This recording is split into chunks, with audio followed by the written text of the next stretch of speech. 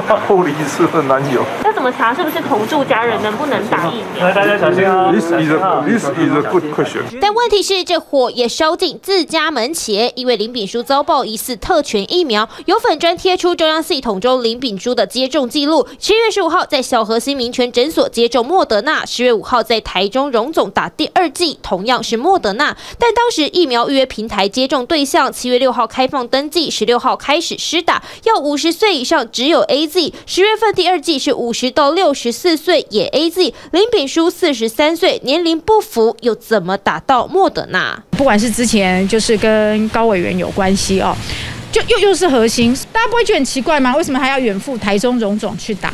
刚好台中荣总院长陈院长也在这个林炳书母亲告别式的。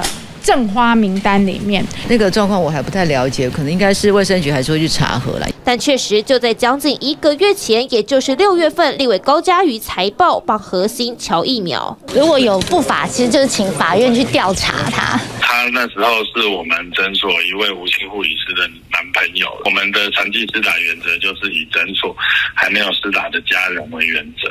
台中荣总只说一切符合规定，但没点出到底林炳书用什么身份打。只是如果依照小核心说法，只是所谓的男友，也符合规定吗？我们没有用那种同居人的这样，我们是同住家人，那我请地方卫生局去查。都说还要查，反倒特权疫苗争议意外曝光了高嘉瑜的这段恋情，真的是一场三角恋。TVB 是李国正、李作恒台北报道。